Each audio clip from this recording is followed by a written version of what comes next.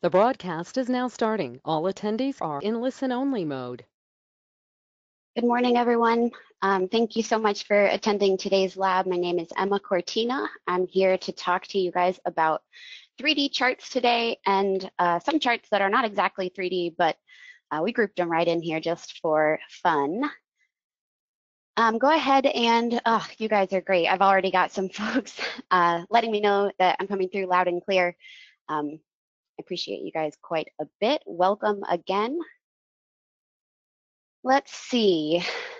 So we're going to direct our focus over to some charts that require a unique setup. I've um, grouped these together because they are all a little bit non-standard from uh, some of the other charts that we've used and some of the more common ones that are used in Exago.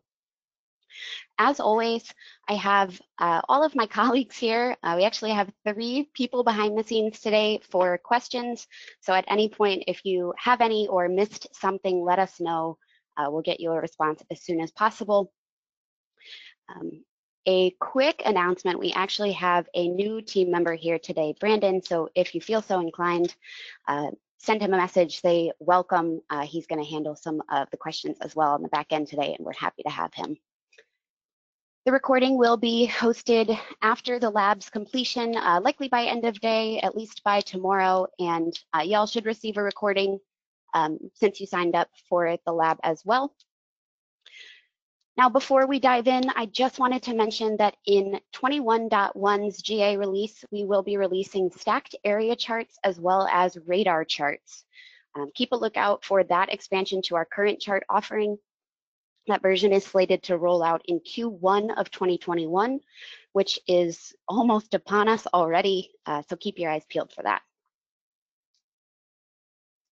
All right, onward we go. A quick overview of today's lab. So we're gonna review the setup as well as use cases for scatter charts, bubble charts, and finally, heat maps. Heat maps are new to Exago in version 2020.1 3.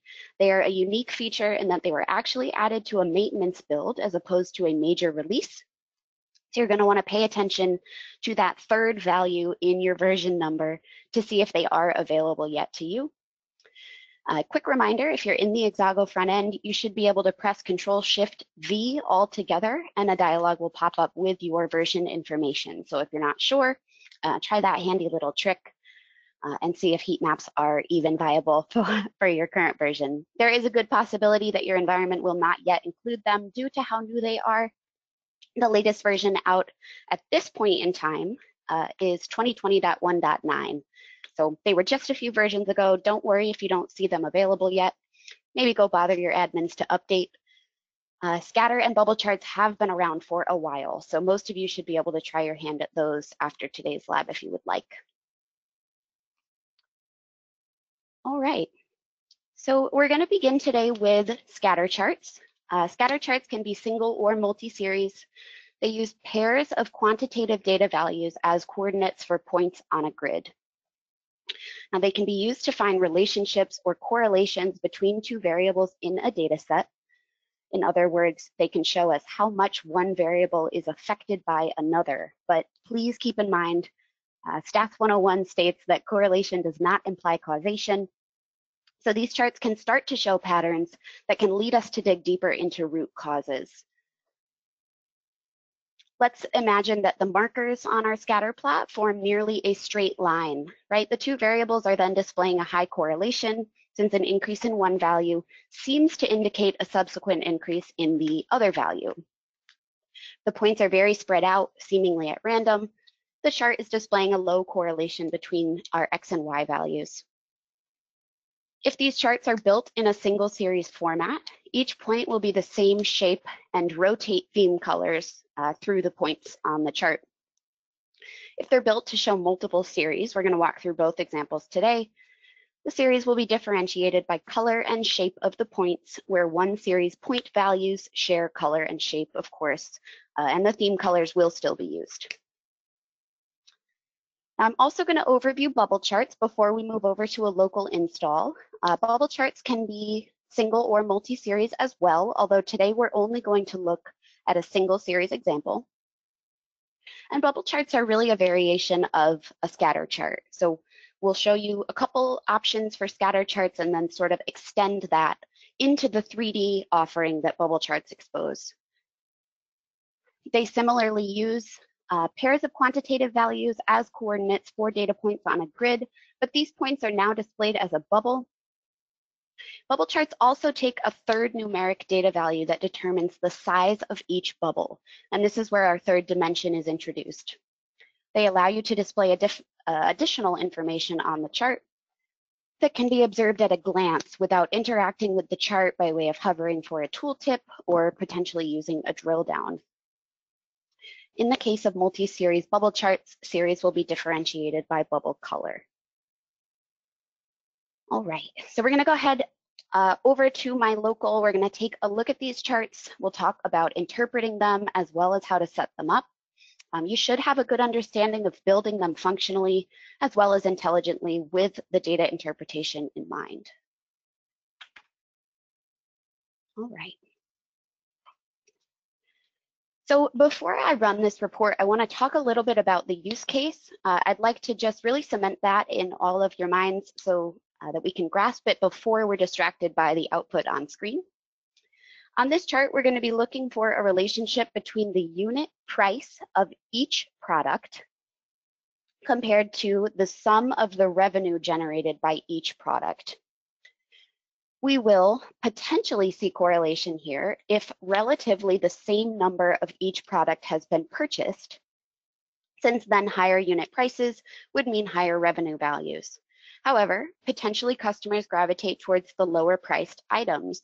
This could mean that items with lower unit prices might generate more revenue overall if they account for a significant enough amount of orders right? So now that we've discussed the data and what this chart might show us, let's take a peek. So the first version I have here is a single series scatter chart. I'm going to run it and start with the output. Now, single series scatter charts take only two data fields, and here I'm using the two mentioned previously. We have a unit price of each product as our X coordinate and the sum of the revenue, again, for each product as our Y coordinate.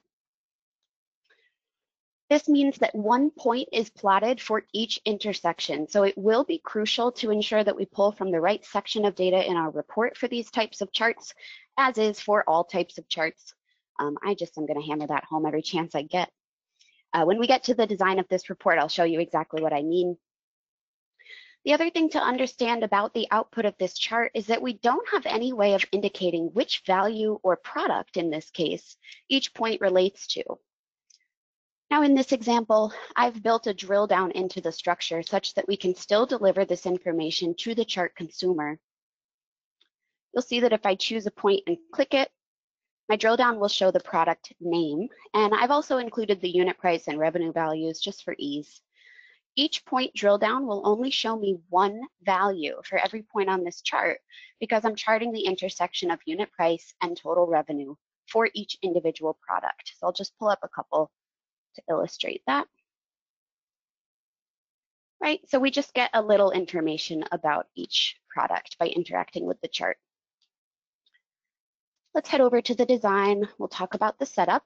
So this particular example is the simplest that we're going to look at today. It consists of a single sort on product name. And of course, to match, we have a single level of grouping, again on product name. I've included the unit price data field. Now I do just want to explain why this doesn't need to be an aggregate. Um, there should be one unique unit price for each product in my data set. So I don't need to uh, add these up or average them because there should be only one unique value for each uh, iteration of this footer here. Total revenue, on the other hand, does need to be an aggregate because we will have multiple orders containing each product. So if we only included the revenue data field in this footer, Exago would pull the last value for each product, which would give us skewed and, of course, incorrect results. Opening up the chart wizard, I'll start in the type tab. Um, fairly straightforward. We, of course, selected scatter as our chart type now in the data tab, I have assigned my X values and my Y values. Um, you'll notice that we do have the three data layout options available to us, though the requirements for input are going to be slightly different.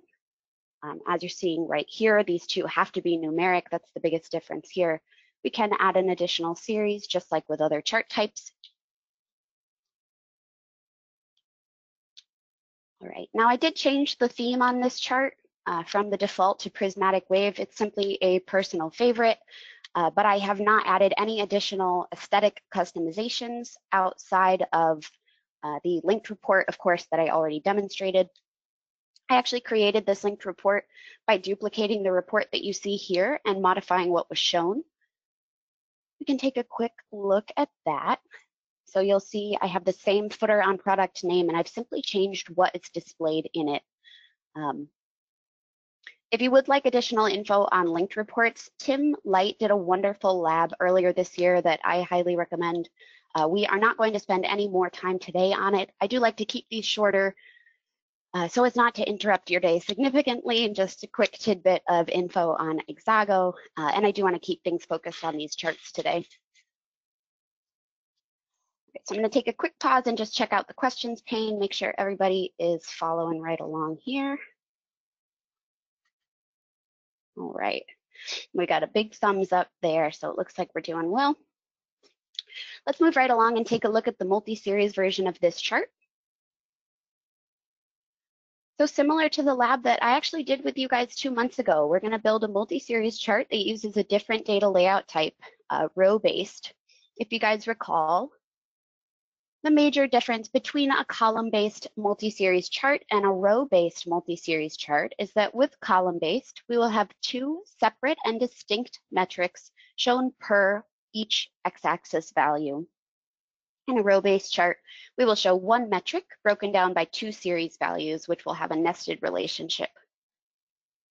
Running this report, we can see the scatter pattern uh, is identical to our single series. And in fact, we are charting the same information here. I kept this consistent to draw attention not to the data or the chart interpretation, but to the differences between the two examples. The difference here is that I've added a series that allows us to better and more specifically categorize the values by their product category. Now each series is represented by different shapes and colors, where before they were all circles of uh, various theme colors within that prismatic wave theme.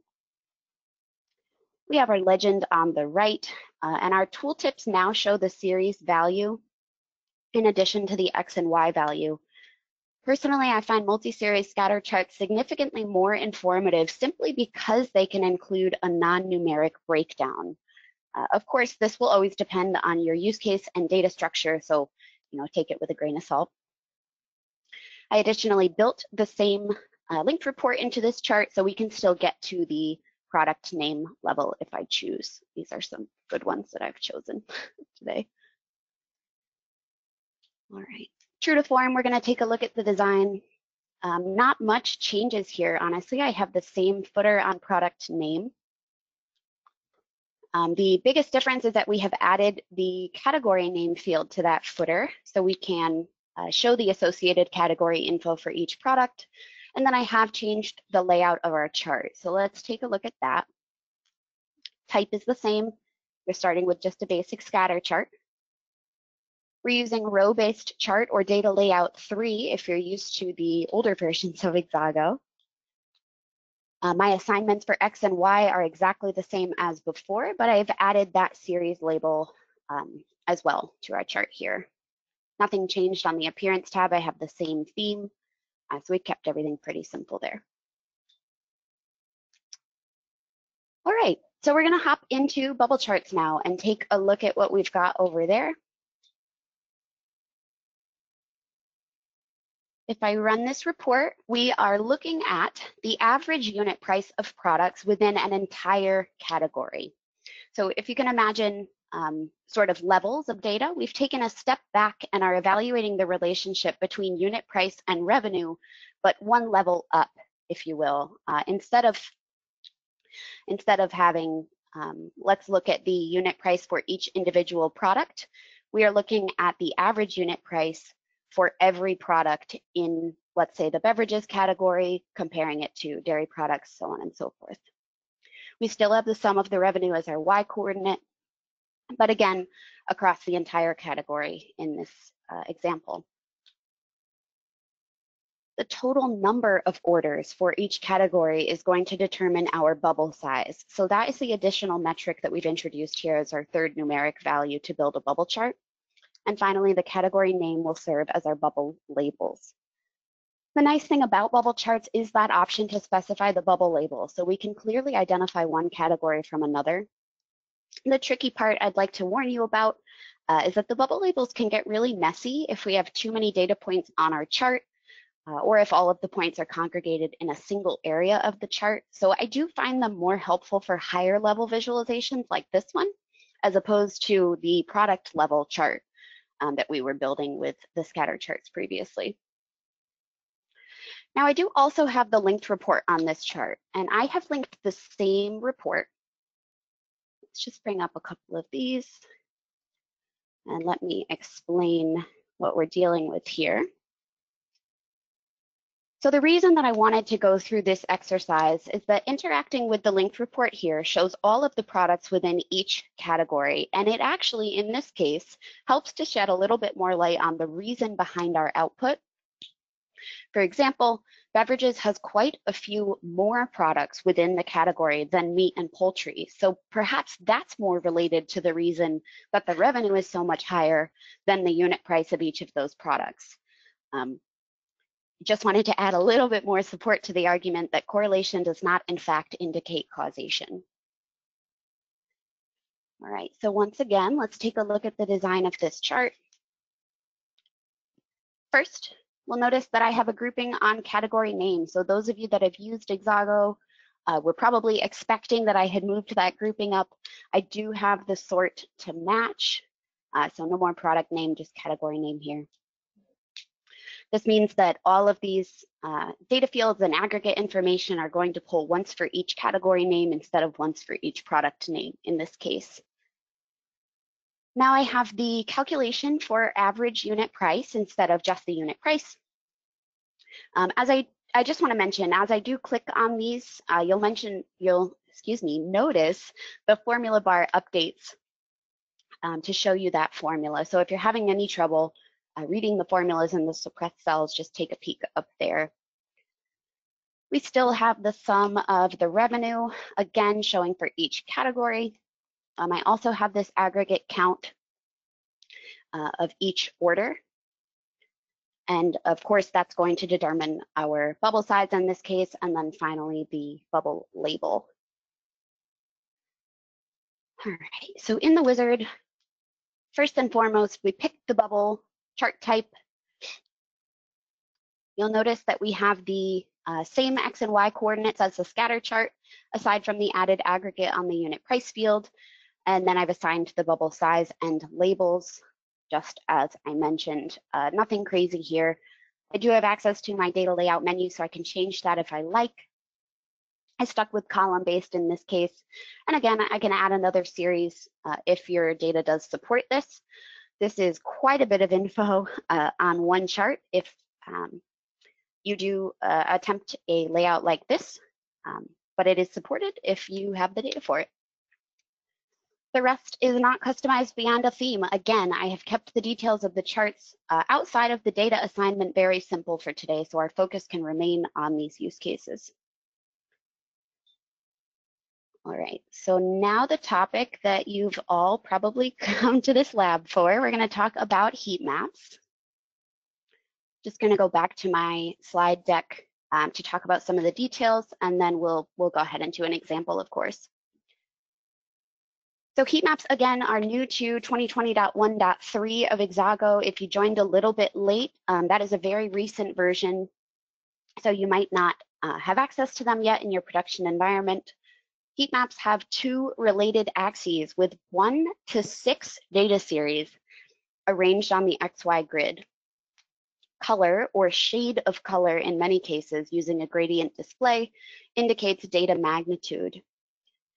Each cell or block of color in the grid can also show up to five additional values, one in each corner of the block, and those display as text, and the fifth in the center, again, just a value display. It'll, it'll show you the value in text. Um, that's how you can end up with potentially six series in your heat map. So it sounds like a lot, but these can actually display that much information in a very informative and consumable manner. Additional information can be configured to display in a tooltip if desired. So you have the option of what actually shows up in that tooltip, and I'll show you that in just a moment. The last thing I want to mention here, because it is different from other charts in Exago, heat maps must use a column-based layout, and we'll see how that works on the front end in just a moment. Um, they do support drill downs. So if you are uh, interested in configuring a drill down, you absolutely can do so. I didn't do that for the heat map today. I want to keep the focus on the uh, heat map setup. All right, so let's check it out. First, we're going to start with a simple example. Um, this heat map is single series. It is showing the total revenue for the intersection between an employee and a given order year. I've configured the years to display along the x-axis and of course the employees along the y-axis.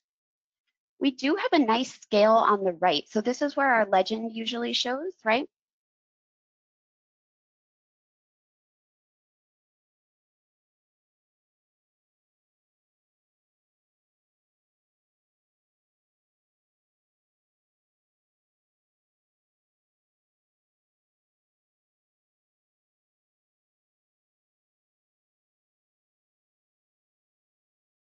The charts in Exago.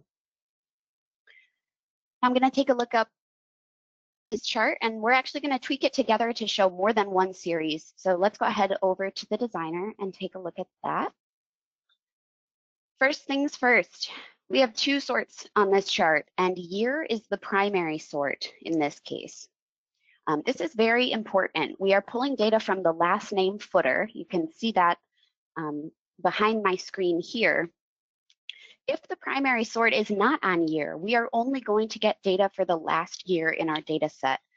I'm going to demonstrate this simply because it is a very common mistake with all chart types.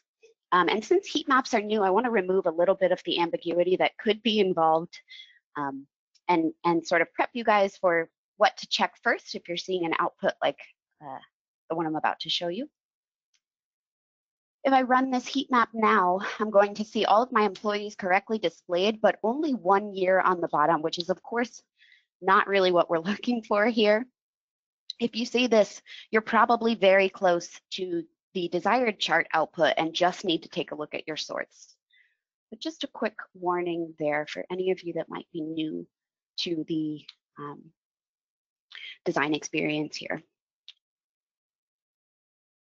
All right, uh, so the next thing that we're going to do is show an additional series value. So let's say uh, we wanna show the total orders for each employee for each year in addition to the revenue in each cell. I know that we haven't looked at how this heat map is set up yet, but I'm going to prep our canvas for the additional series before going into the chart wizard so that we can talk about it and add the second series all at once. So all we need to do here is add the calculation to our footer, and I'm actually going to use our formula bar to do so. Um, guys, I'll plug this every chance I get. If you haven't gotten around to trying out the formula bar feature, I highly recommend it. It makes formula writing so much easier. Um, you don't have to go into any separate dialogues. Um, it's so quick, and it does have that completion logic built in as well. So we're going to do the count of the order IDs here easy peasy. All right, now I'm gonna open the chart wizard. Now, first and foremost, we selected heat map. It appears down uh, at the very bottom of the type screen next to combination charts. In the data tab, um, this is where we start to really go off the reservation from uh, other chart types, right? So first and foremost, I do not have the option to change the data layout, right? Uh, heat map charts only allow column-based chart data layout, and the tooltip is making that pretty explicit for us right here. We're going to assign X and Y values in the top section, right? So this part's pretty simple. As I mentioned, I'll use year as the X uh, and employee last name as the Y value. We do have independent sort configuration options for each of those, uh, as well as an option to check percentage mode, which will transform the data to a percentage range between zero and 100. Um, pretty straightforward there as well. Now we separately configure our display area, which is the area within the actual grid. So you can control any elements that display in each cell on your heat map chart. Currently, this is only set to include one series value, the revenue, and it's displaying in the center of my display area. It is configured to display the value in the tooltip. Um, it has a name to show in the tooltip, as well as formatting. Formatting is available on uh, a field by field basis for each series. It is very helpful in this case, uh, as this is a monetary value, so I can add currency symbols and remove my decimal places just for space considerations. Now we're going to use this button to add an additional series. I'm going to select the count of the order IDs. Just like I mentioned, uh, you'll notice show in tooltip defaults to on. So uh, if you do want those all shown, you don't need to change anything there. And I'm going to give it a display name. Now display name is optional, but also highly recommended. Uh, if I don't give it a display name, the tooltip will actually show the full formula. So not as helpful for um, uh, users not as uh, clean looking on the output. So I'm going to use order count to explain what we're showing here. Again, we can format. I'll just take some decimal places out. All right, now finally, um, I can adjust the position of each display value within the cell using the drag and drop indicator on the left side. So these can be moved independent of any other series in the chart, which means I can optionally choose to show series uh, maybe in just the bottom two corners in, uh, without having series in the center and top. Just go ahead and add that order count series back. There we go. Um, this gives you quite a bit of control over the output of uh, your heat map here. So if you prefer um, different alignments than center and top left, right? You don't have to have five to get down to the bottom options there.